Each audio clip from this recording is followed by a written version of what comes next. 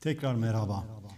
Ankara gündeminin ikinci bölümünde Gelecek Partisi sözcüsü Sayın Serkan Özcan da bizimle birlikte olacak. İyi akşamlar Sayın Özcan, hoş geldiniz. İyi akşamlar, selamlar, saygılar. Sağ olun. Ee, ikinci bölüme sizinle başlayalım. Birinci bölümde konuklarımızla ekonomik krizi konuştuk. Sosyal patlama ihtimaline dikkat çektiler. Ee, siz de biliyorsunuz Japonya merkezli yatırım bankası Namuro hükümete ilişkin 5 maddelik bir plan yayınladı. Bu planın 5. maddesi OHAL. Ee, OHAL'ı işaret ediyor. Yine hükümete yakın Profesör İzzet Ö- Öngenç, Öngenç de e, bir ekonomik o hale hazır olalım dedi. Anayasanın 119. maddesini işaret etti. E, bu maddede de o hali gerektiren e, maddeler arasında ekonomik bunalım da gösteriliyor. Siz bir e, OHAL ya da ekonomik OHAL ihtimali görüyor musunuz? Bu OHAL sosyal patlamalara karşı mı, seçim amaçlı mı, hükümet ne amaçla bir OHAL ilan edebilir? Şimdi öncelikle şunu söylemek isterim Kemal Bey müsaade ederseniz. Ben bir hukukçunun ülkenin ekonomik problemlerinin kaçınılmaz olarak çok daha büyük bir krize dönüşeceğini söylemesini ve bunun çözüm zemini olarak o hali işaret etmesini her ne motivasyonla yapılmış olursa olsun sorumlu bir e, akademisyen ve sorumlu bir vatandaş davranışı olarak görmüyorum. E, o yüzden bence Sayın Özgenç'in e, açıklaması doğru değildir, yerinde değildir. Herkes her bildiğini, her düşündüğünü de böyle sosyal medyadan konuşmanın şehvetine kapılıp anlatmamalı, söylememelidir. Türkiye'de hali hazırda zaten iktidar ve iktidara yakın çevreler tarafından muhalefetin bütün çabalarını görmezden gelecek bir şekilde işte seçimler yapılmaz, olsa da bunlar gitmez, efendim söyleyeyim şu olur, o hal ilan edilir gibi bir psikolojik algı savaşı yürütülmektedir. Hiçbirimiz bu psikolojik algı savaşına ne kadar maruz kalırsak kalalım hiçbirimiz bunu kabul etmeyi aklımızdan bile geçirmemeliyiz. O nedenle ne Sayın Özgenç'in tweetleri üzerine ne de bir Japon yatırım bankasının bence bir yatırımcı notundan daha fazla şeyler ima eden bence o kadar girilmesine gerek yoktu. Yani ben o piyasalarda çalışmış birisi olarak, tecrübeli birisi olarak söylüyorum bunu. Girmesi de gerekmezdi. O, o, o kadar siyasallaşmış bir rapora gerek yoktu. Ne de o rapor üzerinden Türkiye'de bunların konuşulmasını doğru bulmuyorum. Ha şu bir gerçek. Bugün Türkiye'de dış güçler diye bir şey yok diyen bir Hazine ve Maliye Bakanı var Sayın Erdoğan'ın söylemlerinin tam tersine ve demek ki buradan anlıyoruz ki sorun iç içerideki güçlerde yani vatandaşı problem olarak görüyorlar ve burada sınamalara karşı da Milli Güvenlik Kurulu'nu arkasına almış bir AK Parti iktidarı var. Yani bunun bize söylediği şey otoriterleşmeden totaliterleşmeye doğru giden bu niyette olan e, kafasından bunu geçiren bir AK Parti siyaseti var. Yani bu, bunu görebiliyorum. Ama bütün bunlara rağmen şu anda demokrasiye inanan, hukuka inanan, e, adalete inanan, sandığa inanan, kendi milletine, insanlarına inanan ve bu uğurda büyük çabalar gösteren ne muhalefet siyasetçilerinin ne sizler gibi e, tabirimi mazur görün ama e, tekmeye kafayı uzatan basın emekçilerinin ne akademisyenlerin ne de Türkiye aydınlarının şu anda bu psikolojik savaşın içerisine sokulmasını ne doğru buluyorum ne de haklı buluyorum. O yüzden hepimizin çok dik bir biçimde hayır hiç o hal falan da olmaz. Burada bir kaçınılmaz ekonomik çöküş falan da yoktur. Her demokrasiye, hukuka inanan insanın bu çöküşü engellemek için önermesi gereken şey hemen derhal bir seçimin yapılmasıdır. Bir seçim yapılsın, liyakatli kadrolar Türkiye ekonomisinin yönetimine geçsin. Türkiye kaçınılmaz olarak krize falan gitmez. Tam tersine bıraktığı yerden e, güzel hikayesini devam ettirir diye düşünüyorum. Siz bir OHAL e, ihtimali yok diyorsunuz. E, Hayır. Konuklarımız az önce e, birinci bölümde konuştuğumuzda Merkez Bankası'nın 16 Aralık'ta faiz düşürme yönünde politikalara devam edeceğini söyledi. Şöyle görüşler de var. Bu kez Merkez Bankası faizi düşürmez. Asgari ücret biraz epeyce bir yükseltilir. Kamu ücretlerinde artışlar e, sağlanır. Ardından da hükümet yaz başında bir erken seçime gidebilir. Bu senaryoya, senaryoya ilişkin ne düşünüyorsunuz? Olası mı böyle bir senaryo? Ben bir erken seçim olacağına inanıyorum Kemal Bey. Bu arada çok özür dilerim. Ben e, ilk saatte 9'da 10 arasında başka bir programda olduğum için ilk bölümü izleyemedim. O yüzden izleyememiş olarak konuşuyorum bu söylediklerimi ama belki bunlar söylenmiştir. Ee, ben Merkez Bankası'nın e, önce şunu söyleyeyim. Ben bir erken seçim beklentim var. Hükümetin bu konuda kendisine de çok büyük bir haksızlık ve yanlış yaptığını düşünüyorum. Çünkü bekledikleri geçen her günün AK Parti'deki erimeyi çok daha hızlandıracağını, hatta bir noktada büyük bir kırılmaya, bir tetronik kırılmaya neden olacağını düşünüyorum. Ama bu seçimden e, erken seçime gitme senaryosunu eğer şöyle planlıyorlarsa işte biraz kuru işte buralarda tutmaya gayret ederiz. İşte biraz para basar millete para dağıtırız falan filan. Bu milleti hiç anlayamamışlar. İşte bu tam Nurettin Nebati bakış açısı. E, kendisini bey, milleti de tebası zanneden, maraba zanneden. Hani diyor ya e, size ne olacak siz e, maaşlısınız yani olan bana olur diyor ya. Bu bu tavrı destekleyen bir akıl olur. Millet Nurettin Nebati'den de AK Parti'nin genel siyasetçilerinden de çok daha ferasetlidir. Öyle para basıp para vermeyle falan e, asgari ücreti biraz arttırmayla yok hadi artık faizi biraz daha düşürmeyelim falan demeyle falan e, AK Parti'nin ve AK Parti MHP koalisyon iktidarının e, güç kazanacağına ben asla e, ihtimal vermiyorum. Bu arada Merkez Bankası'nın artık alacağı kararların da bu ekip, bu siyaset devam ettiği sürece hiçbir iktisadi öneminin kalmadığını düşünüyorum ben. Teşekkürler. Tekrar döneceğiz size. Ee, Sayın Sarıbal, Sayın e, konuğumuz e, bir erken seçim bekliyorum dedi. E, hükümet ise seçimler zamanında yapılacak diyor. Hükümet bir erken seçime gidebilir mi bu ekonomik koşulların dayatmasıyla yoksa seçimler zamanında mı yapılır? E, Sayın Gerçek'e katılıyor musunuz? Ee, Sayın şöyle Özcan'a. şöyle demek lazım. Öncelikle Serkan Bey'e merhaba demedim, diyelim. Hoş gelmiş. Ee, ben Serkan Bey kadar e, pozitif düşünemiyorum. Yani Türkiye'de o hal yok ama Türkiye'de bir faşist düzen var ve bu faşist düzen şu anda toplumun üzerine çökmüş durumda. Bu çöküntüsünü iktisadi olarak toplumu refaha kavuşturamadığını hepimiz biliyoruz. Merkez Bankası'nın etkisinin olmadığını zaten sarayda birilerinin aldığı kararlarda biliyoruz. Ama bunun yanında toplumda işte dün öğrencilere yapılan hareketlere baktığınızda birkaç gün önce İstanbul'un göbeğinde bir kişinin polisle polis tarafından öldürülüp katledildiğini gördüğümüzde daha dün Diyarbakır'da öğretmenlerin görevden alınmasını göz önüne aldığımızda aslında fiili bir sıkı yönetim ve fiili bir diktatöryel, totaliter bir yapının olduğunu çok net bir şekilde görüyoruz. Ee, öbür taraftan biraz önce meclisteydik. Mecliste Cumhurbaşkan Yardımcısı sadece savaş, sadece savaşa dönük, milli savunmaya dönük İHA, SİHA, yüzen savaş gemisi, uçan savaş gemisi e, den bahsediyor. Başka hiçbir şey yok. Oysa toplum aç, oysa toplum yoksul. Kaldı ki biraz önce konuştuk. Asıl enflasyonun bu dolardan kaynaklanan etkilerin yılbaşından sonra kendini göstereceğini, birazcık bu süt zamından sonra gıda ürünlerde ortaya çıktığını ama gerçekten bu dövizdeki artışın, TL'deki düşüşün enflasyona yansımalarının biz kesinlikle yılbaşından sonra daha da etkili olacağını düşünüyoruz. Elbette bir e, seçimin olmasını, bugün olmasını biz istiyoruz. Hiç kaçınılmaz. Ama karşımızda normal bir yapıdan bahsediyor gibi bir durumla karşı karşıyayız. Biz hiçbir normal bir yapıdan falan bahsetmiyoruz. Bu ülkede yakın tarihte 2016 tarihini görüyoruz. 2015 tarihini yaşadık.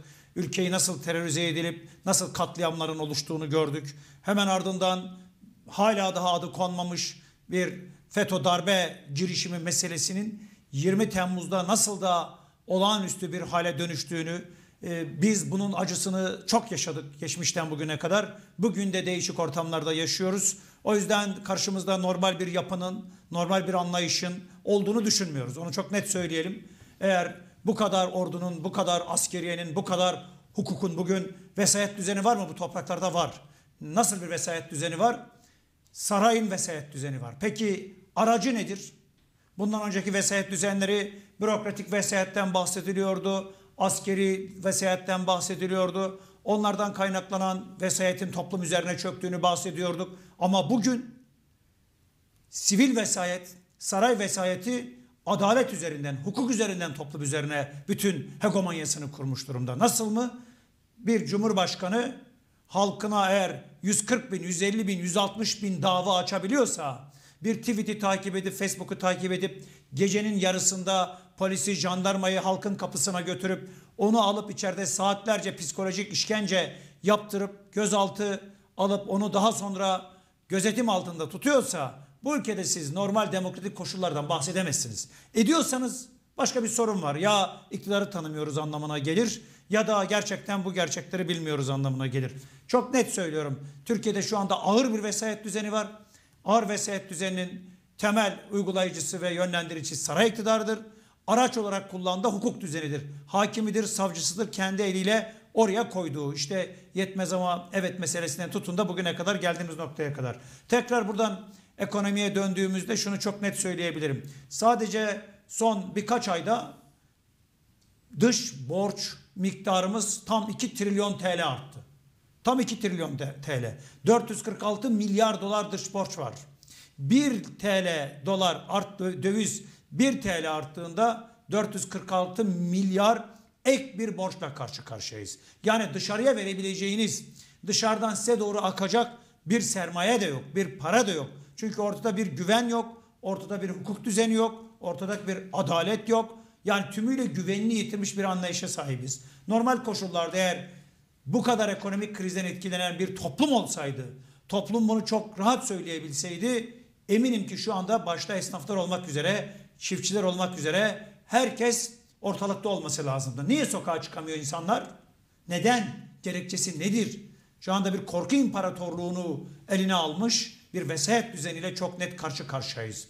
O yüzden elbette çok gönülden isterim yarın sabah seçim olsun. Çok gönülden isterim bu kara sayfalarla üstümüze çökmüş olan kara buluttan kurtulmayı ve çok da rahat söyleyebilirim. Biz bu kaostan, bu karanlıktan kurtulabiliriz. Bu mümkün. Bunu başarabiliriz. Bu topraklarda bu kara düzenleri yıl defalarca aşmış insan nüvesi de var, bilim de var, akıl da var, dayanışma da var, kültür de var.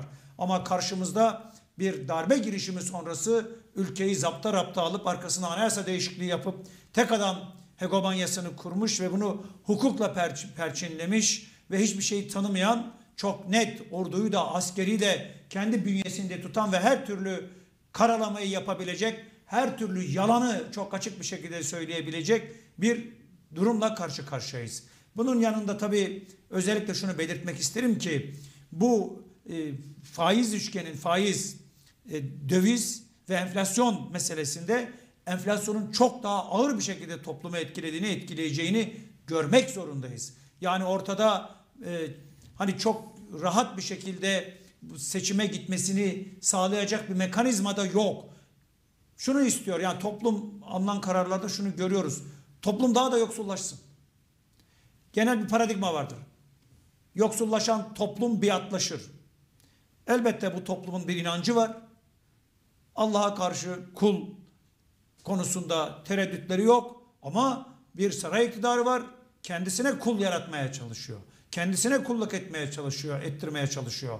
Bunun içinde şu anda kullanabileceği en bariz argüman Diyanet İşleri'ni kullanıyor. Diyanet İşleri çok açık bir şekilde bir bakanlık gibi görev yapıyor. Çünkü iktidarın söyleyebileceği sözü kalmadı. İkna edebileceği bir yapısı da yok. Yapabileceği tek şey var. Topluma razı etmek. Bu dünyada şükredin ama öbür tarafta cenneti vaat eden, bu dünyada halka yoksulluğu, açlığı, refahı, e, özür dilerim açlığı, yoksulluğu ve refah gören ama kendisi bu dünyada inanılmaz zengin olmaya çalışan bir yapıyla karşı karşıyayız. Dolayısıyla bu yapının böyle çok kolaycı bir şekilde ben seçime gideceğini de düşünmüyorum. Çünkü ortada seçime gidebilmenin dört yolu var. Bir, saray tek adam isterse olacak. İki, ortağa oyun bozanlık ederse olacak. Üç, parlamento aritmetiğine bağlı olarak gerçekleşecek. Dört, kamuoyu baskısı, halkın iradesi ortaya çıkacak. Bugüne kadar halk henüz ilk kez yüzde 55'lerin üzerinde bir erken seçim istemeyle karşı karşıya. O e, belki Serkan Bey'e şurada katılmak çok mümkün. Halka şunu söylemek lazım ve anlatmak lazım. Öylesine halkta bir umutsuzluk var ki bizlerin halka ciddi bir umut aşılaması lazım. Dördüncü gerekçe olan yani halkın sandığa talebi, halkın sandığı talep etme meselesini büyütmemiz lazım. Eğer yüzde yetmişin üzerinde halk sandığa gitmeyi kabul ettiği andan itibaren elbette iktidarın çok fazla şansı kalmayacaktır. Bu konuda ne yapabilir muhalefet? Halkı nasıl e, bu konuda ikna edebilir? Şu anda bizim gördüğümüz şu. Aslında toplum kararını vermiş. Saraydan kurtulmak istiyor. Ortada bir AKP falan yok. Ortada AKP iktidarı, MHP iktidarı da yok. Ortada tek adamın iktidarı var. Halk tek adamdan kurtulmak istiyor. Çok net. Ama bu taraftaki yapıdan bizlerden de bir güç, bir irade, kendilerine gerçekten e, bu sarmaldan kurtarabilecek belki bir manifesto, belki bir dayanışma, ortaya dayanışmayı görüyor ama bunun dönüş, güce dönüşmesini bekliyor. O gücü ve istiyor. Yani evet çoksunuz, kalabalıksınız ama güç değilsiniz diyor. O da bizim sorumluluğumuzda. Bununla ilgili de altı parti çalışmalarını yürütüyor ve toplumsal muhalefet açısından muhalefetin bütün kesimleri de bu konuda bence bir tutum içerisinde duruyorlar ve buradan doğru da halkın güvenini kazanacak ve halkın bu sarmaldan kurtulacak umudu verebilecek bir çalışma sürecini yürüttüğümüzü düşünüyorum. Muhalefet burada üzere, üzerine düşen sorumluluğu yerine getiriyor mu sizce yeterince? Ya şöyle e, belki tam getiriyor demek çok doğru olmaz. Çünkü böyle durumlarda böyle durumlarda bu iktidarın da beklediği aslında demokratik toplumlarda siyasetin demokratik yapıldığı, özgür yapıldığı, toplumun demokratik olarak mücadelesini ortaya koyduğu, fikrini ortaya koyduğu, biraz önce Serkan Bey söyledi demokrasiyi önceleyen taleplerimizi yükseltmeliyiz. Doğru. Bu çok önemli bir iş ama burada bunu demokrasiyi söyleyebilmenin demokrasinin olduğu koşullarda geçerlidir. Demokratin siyasetin olduğu koşullarda geçerlidir. Mecliste görüyoruz durumu. Mecliste hangi sözlerle nasıl saldırdıklarını, hangi partiye nasıl saldırdıklarını çok net bir şekilde görüyoruz. Burada demokratik toplumlarda muhalefetin şu anda sürekli mitingler yaparak sürekli sokak mücadelesini ortaya koyması gerekmektedir.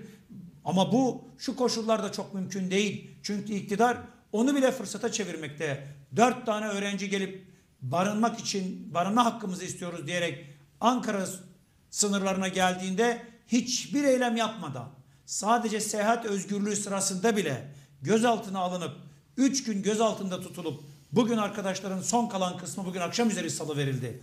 Böyle bir ortamda bütünüyle polisi, jandarmayı bütün gücüyle halkın üzerine salan bir mekanizmayla karşı karşıya olduğunuzda geriye sınırlı bir fiili müdahale hakkınız kalıyor. Normalde bugün sokaklarda insanlar ellerinde pankartlarla çok özgürce polisin tam tersi olarak eylem yapan, hakkını arayan o insanları koruması gerekirken ne yazık ki daha sokağa bir kişi bile çıktığında onu anında müdahale eden bir adeta sıkı yönetim koşullarında, adeta baskı koşullarda, adeta otoriter, baskıcı, kamu otoritesini eline almış, polisi, jandarmayı kendi eri gibi kullanan ve kendi ideolojisi için kullanan bir mekanizmayla karşı karşıyayız ki e, böyle çok net bir şekilde bunu görüp bunun üzerinden yorumlamak çok daha doğru olur diye düşünüyorum. Teşekkürler. Ee, Sayın Tuğrul, Sayın e, Özcan hükümetin bir erken seçime gitmek durumunda kalacağını söyledi ama Sayın e, Sarıbal da tam tersini düşünüyor. Hükümetin seçimden kaçınacağını mümkün olduğunca zamanında yapmaya çalışacağını söyledi. Siz ne düşünüyorsunuz? Hükümet e, şu anki koşulları çok e, seçim için uygun görmüyor ama e, ekonomik koşullar hükümeti bir erken seçime mecbur bırakır mı? Ya şu, e, bence şu soruyu şöyle de sormak gerekir. Türkiye'de bir erken seçim ihtiyacı var mı? Bu konu, sorunun cevabı yüzde yüz evet. Hem hem de hemen. Ama e, biraz önce Orhan Bey'in de söylediği gibi e, iktidarın e, seçime gitmemek için her şeyi yapacağını da görüyoruz. Yani bir ihtiyaç var. E, bu ihtiyaç kendisini dayatıyor. Bir an önce bu şu anda yaşanan bu krizden çıkmanın e, biricik yoludur. E, ama tüm buna rağmen iktidar da bu yolu bile bile kaybedeceği bir seçim var. Dolayısıyla bile bile kaybedeceği bir seçimi bu kadar e, otoriterleşmiş, bu kadar toplumu e, düşünmeyen, toplumu e, bir an için yaşadığı koşulları görmeyen bir iktidarın tek derdi var. E, seçimleri mümkün olduğunca ertelemek. Zaman Biraz önce e, ben de Serkan Bey'i selamlıyorum. E, Serkan Bey e, ile farklı düştüğümüz nokta şu. Yani e, şey ihtiyaçtır seçim ama e, bu iktidarın e, o hal veya işte seçimi geciktirmek gibi her türlü yolu yap- kullanabileceğini de ayrıca görmek gerekiyor. Yani bu iktidar e, gitmez demiyoruz. Tabii ki halk iradesine karşı hiçbir iktidar e, şunu söylemiyoruz. Yani e, hatırlayın işte e, özellikle yerel seçimlerden önce halk oy verse de muhalefete iktidar gitmez algısı vardı. Hayır bu iktidar halk oy verirse e, muhalefete bu iktidar gider. Ama bu iktidar şu andaki geldiği koşullar itibariyle gördüğü, kaybedeceği bir seçime kolay kolay gitmeyecektir. Bizim ba- bahsettiğimiz bu. Aslında biraz da e, şunu söylemek Sayın isterim. Özcan seçim e, tarihi geciktikçe ekonomik koşulların daha da ağırlaşacağını, hükümetin aleyhine döneceğini, bu nedenle bir erken seçime gidebileceğini. Ee, bakın e, şu anda e, tüm parametreler bu iktidarın iktidarı kaybettiğini gösteriyor. Ee, hiçbir koşul iktidarın iktidarda kalmasını sağlayamayacak. Bakın dünya ile bu kadar kopmuş, e, iç siyasette bu kadar e, muhalefetle boğuşan ve kendisini sadece e, otoriterce var eden bir iktidarın e, şey yapması yani iktidarda kalma olasılığı yok. E, şu andaki koşulları gerçekten daha da kötüleşeceğini düşünmek e, ve bu iktidarın daha da yıpranacağını düşünmek. İktidar zaten en ağır koşulları şu anda topluma yaşatıyor. Bundan sonrası için bence muhalefetin önünde duran önemli bir görev var. Evet, bugün yarın seçim olacakmış gibi çalışmak, buna hazırlık yapmak ama bir taraftan da gerçekten şu anda halkın yaşadığı bu zulüm, bu, bu yoksulluk, bu açlıkla ilgili toplumun karşısına sadece sokak önemli bir parametredir. Sokağa çıkmalıdır ama bunun yanında şu anda bu yoksulluk sınırında yaşayan to- topluma da yaşanabilir imkanların nasıl bu koşullarda bile nasıl sağlanabileceğini umudunu verebilmelidir. Çünkü sürekli toplumda şöyle bir şey de geliyor. Yani e, toplum e, e, muhalefet bu krizden nasıl çıkacağını söylemiyor. Doğrudur bir güven sorunu var. Evet bu önemlidir. Ama e, bir diğer önemli nokta da bu güven sadece güveni sağlayarak da burada yapısal bir sorun var. Yani bu güveni sağlayarak da bu e, krizi ve yoksulluğu aşamazsınız. O açıdan olması gereken bizim en, bence muhalefetin e, hiç kimseyi dışlamadan bir araya gelip kısa vadede yapacağı ekonomik adımların ne olacağını söylemesi ve topluma belki iktidar bunun üzerinden iktidara baskı uygulaması gerekir. Bakın ben size şunu söyleyeyim. Şimdi mesela asgari ücreti tartışıyorlar değil mi? Asgari ücret işte e, e, rakam üzerinden tartışılıyor. Efendim 5000 lira mı olsun, 4800 mü olsun, şu olsun, bu mu olsun? Bakın bu e, çok yükselttiğinizde de bir başkaca bir problem doğ- doğuracak. E, bu sefer işte işsiz- işsizlik artacak çünkü işten çıkar- çıkarmalar bu yükün büyük bir kısmı örneğin esnafa yüklenecek. Şimdi dolayısıyla muhalefet orta e, kısa vadede toplumun bu açlık ve yoksulluğuna e, çözümlerini söyleyip iktidar üzerinde yap sokakta yaptığı mitinglere, etkinliklere e, e, paralel olarak bunun da yolunu söylemesi gerekiyor. Mesela dediğim gibi şunu yapması lazım. Bakın Türkiye'nin bugün lüks projeleri yapma imkan ve ihtimali yok. Bunu yapıyormuş gibi görünenlerin aslında yapmadığı toplumu daha da yoksullaştırdı. Türkiye bütçesinin yüzde yirmisinin savaş ve güvenlik politikalarına harcandığı bir ortamda e, bu yoksulluğun önüne geçmenin zor olduğu. Dolayısıyla kısa vadede bir defa e, toplumun karşısına bir e, bu kışı en azından atlatabileceği şeyler koyması. Şunu yaparsak atlatırız. Mesela biz bunun için şunu söyledik. Ee, asgari ücret belli bir seviyeye getirilmeli toplu insanların yaşamını geçirmesi ama sadece asgari ücreti işçiye verilecek ücret olarak düşünmemeli. Bunun e, özellikle esnafın üzerine binen kısmının da e, iktidar tarafı yani daha doğrusu e, bütçeden karşılanması. E, yine e, örneğin geçinemeyen insanlarımıza bu lüks projelere, savaşlara harcadığımız e, geçine e, paraların e, bir kısmını da en azından e, asgari geçim desteği sağlayarak e, toplumun e, yaşamını rahatlatması gerekiyor. E, yine e, e, bir diğer önemli nokta da bu anda şu andaki e, bu e, asgari geçim e, desteğinin yanında toplumun ısınabilmesinin, toplumun aydınlanabilmesinin yani ışık olarak bahsediyorum. e, Fikirsel aydınlanmadan bahsetmiyorum.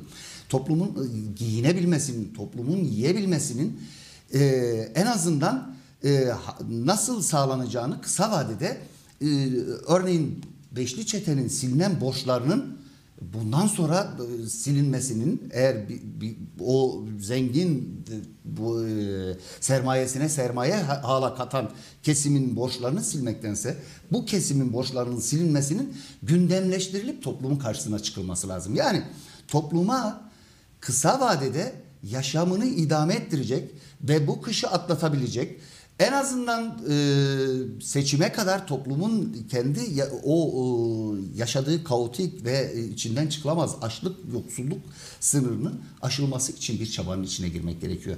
Yoksa e, se- e, şey e, erken seçim ihtiyaçtır.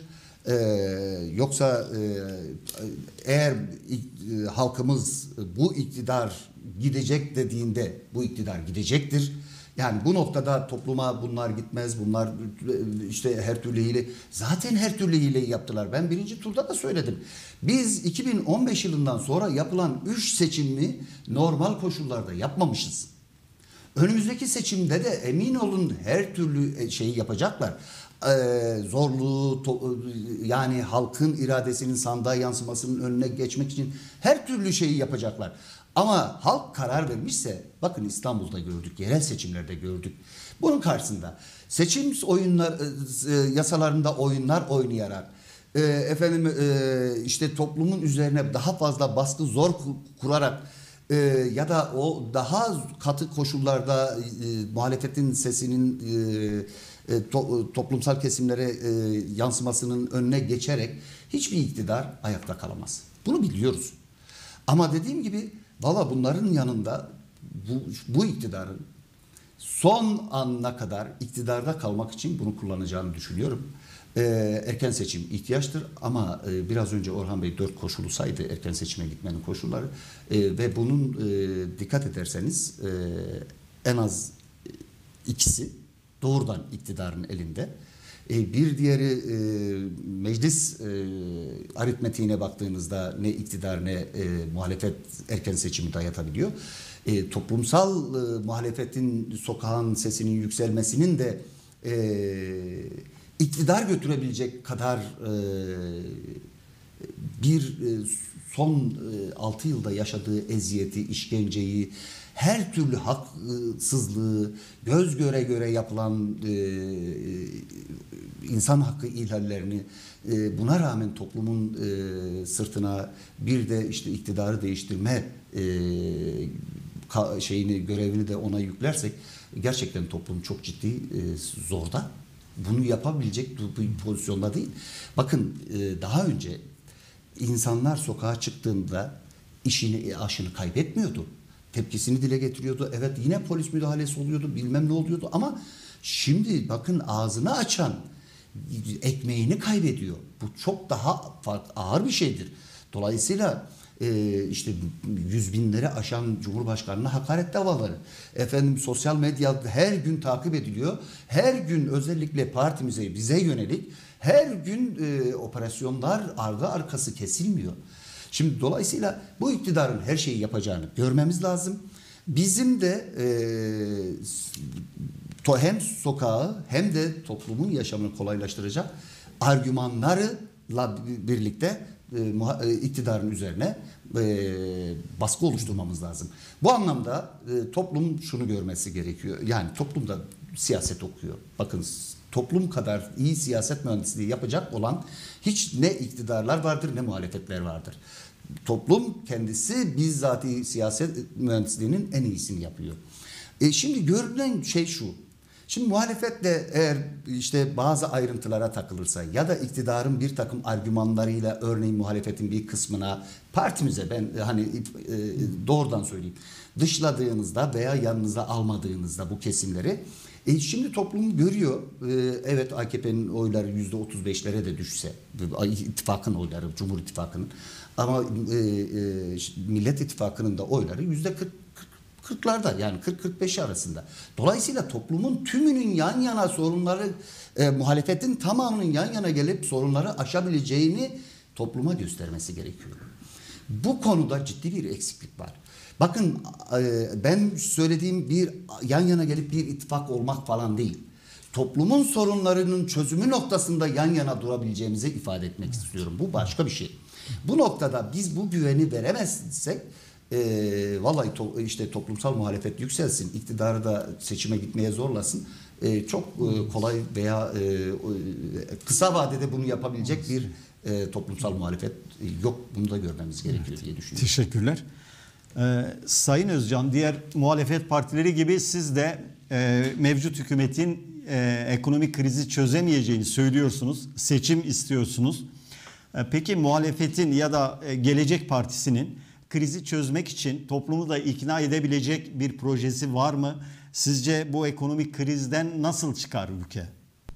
Şimdi Kemal Bey, tabii ben e, aslında yaşadığımız sürecin yansımalarını görüyoruz konuşmalarda. Hepimiz birbirimizin konuşmalarında aslında buna ilişkin ipuçlarını buluyoruz. Hem Mahmut Bey'in hem Orhan Bey'in konuşmalarından aslında şunu da gördüm ben. Mesela biz e, iktisadi olarak Mahmut Bey'in son o konuştuğu için iktisadi olarak hemen yarın uygulanabilecek 61 tane maddeyi para politikasında, kamu maliyesinde, kısa vadede özellikle bu sosyal yardımlar, toplumun dar gelirli, dezavantajlı kesimlerine ilişkin alınabilecek önlemlerle ilgili olarak işte bugün ayın 14'ü biz 29 Kasım'da Sayın Davutoğlu ile birlikte 6 kişi de ekonomi ekibi olarak çıktık kamuoyuyla 61 maddeyi paylaştık. Şimdi e, şu anda öyle bir sürecin içerisinden geçiyoruz ki bak bu arada bu 61 madde bizim ekonomik yapısal önerilerimiz falan filan değil. Şu kanamayı durdurabilecek acil çözüm önerileri olarak ortaya koyduğumuz şeyler. Yani bizim ekonomi ekibi oturdu hepimiz bir bölümüyle ilgilenerek ortaya hemen böyle bir şey çıkardık ve, ve kamuoyuyla bunu paylaştık. Şimdi öyle bir ortam var ki Türkiye'de maalesef çok üzülerek söylüyorum.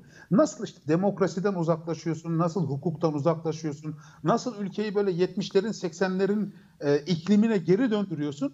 Bunun en önemli yansımalarından bir tanesi de vatandaşa ulaşma konusunda maalesef zorluklar çekiyor. Çünkü her otokrat aslında sansürcüdür. Yani biraz e, toplumda bu çözümleri ortaya koyabilecek akıllın, siyasetin, akademinin, düşünenin, kanaat önderlerinin falan çok görünmesini istemez. İşte bak biz sesimizi şu anda Türkiye Büyük Millet Meclisi'ndeki milletvekillerine bile yeterince duyuramamışız. E, bunlar böyle çok da karmaşık falan şeyler değil. Şimdi neden olmadığını da söyleyeyim. Türkiye mikro ölçekte ekonomiyi tartışacak vaziyette değil. Yani bir örnekle isterseniz e, açıklayayım. Bir insanda şeker hastalığı olabilir, tansiyon hastalığı olabilir, kalbinde ritim problemi olabilir. Bunların hepsiyle ilgili ilaç kullanması gerekebilir ama insan o anda o hastalıkların farkında değildir. Bir trafik kazası geçirir ve o trafik kazasında acil servise gider ve yoğun bakıma alınır. O anda acil serviste onun normal hayat fonksiyonlarına dönmesi için çaba sarf edilir. Şekeriyle uğraşılmaz, tansiyonuyla uğraşılmaz, kalpteki ritim problemiyle uğraşılmaz. Şu anda Türkiye o kazayı yaptı, duvara tosladı. Bizim bu 61 maddeyle yoğun bakımdan Türkiye'yi normal odaya çıkarıp şeker, tansiyon, efendime söyleyeyim e, kalp ritmi işte bunları düzene sokacak mikro tedavilere gitmemiz lazım. Şu anda Türkiye'nin problemi liyakatsiz, kifayetsiz ne dediğini bilmeyen bürokrat ve siyasetçilerin hakim oldukları bir yerde Türkiye'nin göz göre göre fakirleştirilmesi, yoksullaştırılması, faiz, enflasyon ve kur baskısı altında inim inim inletilmesidir.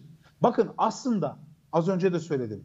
Uzakta aramaya gerek yok Türkiye'nin sorunlarının çözümünün nerede olduğunu aramak istiyorsak yakına bakmak lazım. Büyük resim falan bu, bu, bu şeyleri bir unutmak lazım. Karşımızda daha bir hafta öncesinde atanmış bir Hazine ve Maliye Bakanı var. Vatandaşı tarlasında çalıştırdığı maraba zannediyor. Kendini sultan, vatandaşı teba zannediyor. Size ne olacak ki altı üstü bir maaşınız var enflasyona ezilirsiniz olan bana olur diyor. Şimdi bundan daha büyük bir sorunumuz yok. Bundan daha net bir çözüm önerimiz de yok. Bu, bu insanların, bu kafanın Türkiye'nin ekonomisini yönet ya, hayal edebiliyor musunuz yani Türkiye'nin ekonomisini yöneten insan maaşlı insanlara yani diyor ki sen ücretli kölesin. Sen zaten kölesin, ücretli kölesin. Sana bir şey olmaz. Şimdi bizim böyle bir problemimiz var. O yüzden açıkçası girişimcilik ortamı ile ilgili olarak, fintech ile ilgili olarak, teknolojiyle ilgili olarak, ARGE ile ilgili olarak ben burada size Gelecek Partisi programını açar, baştan sona bu konularla ilgili sanayi politikaları hepsini anlatırım. Ya ama hasta komada ya, yoğun bakımda. Yoğun bakımda. Bir ülkenin parası ne ya? Türk lirası kripto para mı? Bir günde bir ülkenin parası yüzde beş değer kaybeder mi? Yüzde on değer kaybeder. Allah aşkına. Hem de dalgalı kur rejiminde. Bak 3-4 dördüncü müdahaleyi yaptılar bugün Kemal Bey. Toplamda harcadıkları para 4 milyar dolar. Kur nerede? 14.40. Az önce bak. 14.40. Ya bizim böyle bir problemimiz var. Bizim karşımızda liyakatsiz, kifayetsiz, cahil bir ekonomi yönetimi var. Şimdi bu ekonomi yönetimi elbette iç politikaya geldiği zaman da otoriterleşme olarak karşımıza çıkıyor bu cehalet. Dış politikaya geldiğimiz zaman savrulma olarak karşımıza çıkıyor. Demokrasi, hukuk meselelerine geldiği zaman antidemokratik bir üslup ve hukuksuzluk olarak çıkıyor. Elbette bunların hepsi var. Elbette bunlar da o puzzle'ın, o parçaları, o makinenin parçaları ya da öyle söyleyeyim. Ama ben açıkçası az önce Orhan Bey belki o kanaati tam anlatamadım ben kendisine. Şunu söylemeye gayret ediyorum. AK Parti tahammül edemeyeceği bir noktaya götürüyor işi siyaseten. Yani ülkede 25 milyon vatandaş maddi yoksulluk çekiyor. 23 milyon vatandaş ayda 2000 liranın altında bir parayla geçiniyor. Türkiye'de açlık sınırı 4 kişilik bir aile için 3200 lira. Bu sürdürülebilir bir şey değil. Az önce yine kendisi söyledi. Çok doğru. Türkiye'de her 1 liralık doların artışı bizim dış borçlarımız nedeniyle 446 milyar lira arttırıyor. Bir de üstüne ben eklemesini yapayım. Kamu özel işbirliği projeleri nedeniyle ekstra bir 157 milyar lira getiriyor. Yani 600 milyar lira artıyor her bir kuruşta. Ya Naci Ağbal görevden alındığında bu kur 7.27 idi. Bugün 14.50 tam %100 artmış bakın. 7.20 artış demek Türkiye'nin dış borcu ve kamu özel işbirliği projesi taahhütleri nedeniyle toplam kamu yüküm, e, affedersiniz toplam dış borç yükümlülüğünün 4 trilyondan fazla artması demek. Ya şimdi bizim böyle bir sorunumuz var. Şimdi 4 trilyon lira sadece kur farkı nedeniyle bu milletin sırtına 8-9 ayda yüklenmiş. Çiftçiye bu sene bütçeden ayırdığı para 25 milyar lira. Ya bizim sorunumuz bu. Bizim yoksulluğumuzun, yoksulluğumuzun, yolsuzluğumuzun sebebi bu yönetim, bu liyakatsiz, bu kifayetsiz, bu cahil yönetim. Ben bunu söylemeye çalışıyorum ve bu, bu sürmez, bu sürdürülemez. Dünyanın hiçbir ülkesi bunu sürdüremez. Bakın Lübnan'da bugün uluslararası basına bir sürü haber düştü gördünüz. Çok ciddi bir sosyal istikrarsızlık hali var.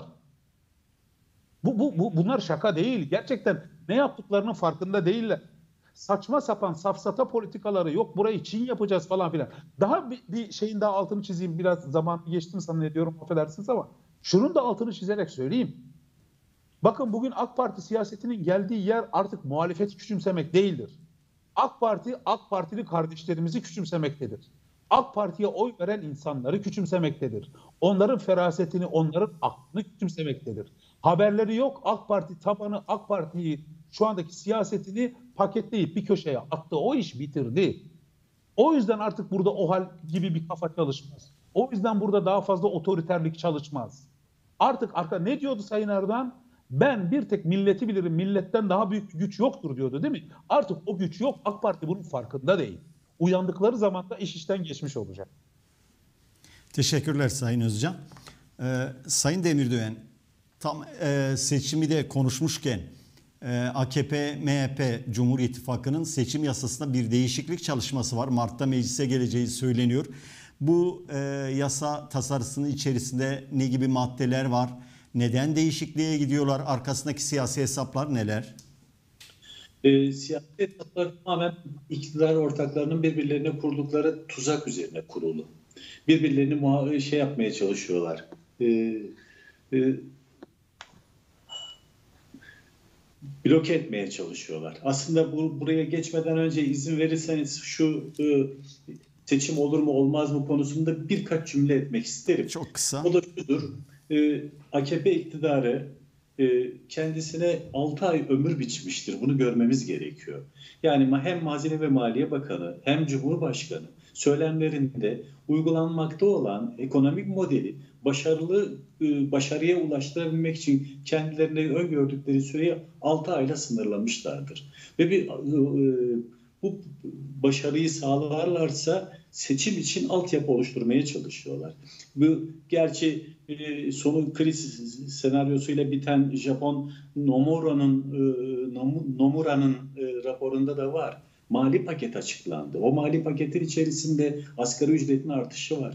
Çalışanlara enflasyon farkı ile birlikte ek üc- ödeme yapılması var. 3600 ek gösterge var. Çiftçilere belki yapılacak yardımlar var.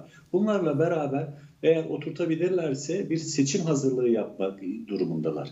Ama bunu yapamazlarsa da daha da otoriterleşme belirtileri hatta e, sayın konukların da söylediği gibi totaliterleşme eğilimi gösterdikleri ortada. Doğrudur. 24 Ocak kararlarını uygulayabilmek için Türkiye'de askeri darbeye ihtiyaç duyulmuştur. Şimdi Çin modeli dedikleri ama ben Cin modeli diyorum. Zira Çin modeline hiçbir yerde benzemiyor. O modeli oturtabilmek için de bir olağanüstü hale ihtiyaç duyacakları ortadadır. Bunun karşısında sivil siyasetin yapması gereken umudu büyütmektir.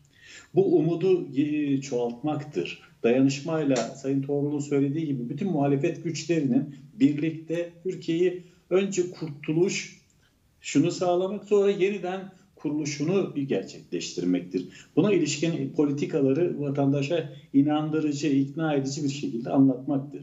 Buradan MHP'nin e, MHP'ye kurulan tuzağa geçmek istiyorum. Şimdi AKP iktidarı e, anayasanın seçimlere bir yıl kala yapılan değişiklikler, seçim yasalarında yapılan değişiklikler, ilk bir yıl içerisinde yapılacak seçimlerde uygulanmaz hükmü karşısında seçim yasası değişikliğini bir buçuk yıldır tartışılmasına rağmen şimdi de Mart-Nisan aylarına öteledi. Bu şunu vermeye çalışıyor. Yani topluma erken seçim olmayacak, biz seçim yasasını değiştireceğiz, barajı %7'ye indireceğiz, seçim kurullarının yapısıyla oynayacağız. Belki dijital oy kullanma biçimine de geçebiliriz ama bu erken seçim olmayacak. Bunu uygulayabilmemiz için bir yıl sonrasına ihtiyacımız var demeye getiriyor. Ama bu çerçevede uygulanan ekonomik model başarıya ulaşmazsa MHP'nin koalisyon ortaklığını bitirmesi, AKP içerisinden çeşitli grupların kopmasını önleyecek argümanlar e, oluşturmaya çalışıyor. O da şudur. MHP'ye eğer sen koalisyonu bozarsan, bizden desteğini çekersen, bir seçime gitmek durumu hasıl olursa baraj %10 olarak uygulanacaktır. Sen de %7'lerde gözüktüğün için barajın altında kalırsın demeye getiriyor. Böylesine bir e, mesaj vermeye çalışıyor. MHP'yi kendisinden kopamaz hale getirmeye çalışıyor. Biliyor ki uygulanan ekonomik model acımasız olacak, e, enflasyon daha da artacak, insanlar fukaralaşacak. Siyasal muhalefet bir yandan güçlenirken toplumsal muhalefet de bir, e, kendisini göstermeye başlayacak. Bir çözülme ortamına girecek. Bu çözülme ortamında kendisini muhafaza edebilmek için de böyle seçim yasalarıyla oynama ve kendi ortağına da deyim yerindeyse bir tuzak kurma ihtiyacı duyuyor. MHP bu tuzağın farkında değil mi? MHP de bunun farkında. Kuşkusuz farkında.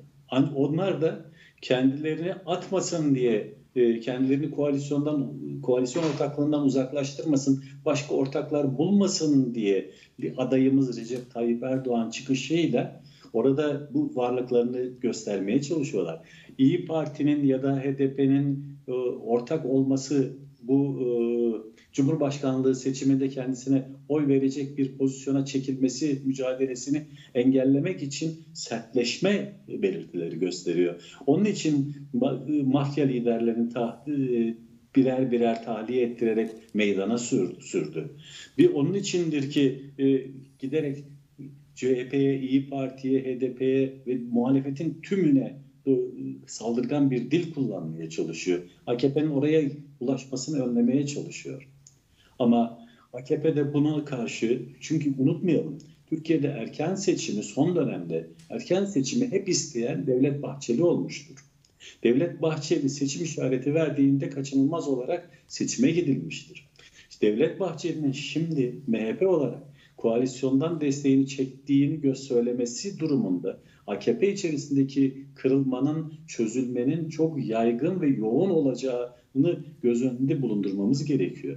Bunu önlemeye çalışıyor. MHP o ister, istersen boz, istersen seçim iste, baraj yüzde ondur, sen de barajın altında kalırsın demeye getirmektedir. Çok teşekkürler. Ee, Bu haftada süremizin sonuna geldik. Ekonomik krizi ve bunun sonuçlarını konuştuk. Konuklarımız Sayın Özcan, Sayın Demirdoğan, Sayın Sarıbal ve Sayın Toğrul'a çok teşekkür ediyoruz. Haftaya yine aynı saatte buluşmak üzere. İyi geceler.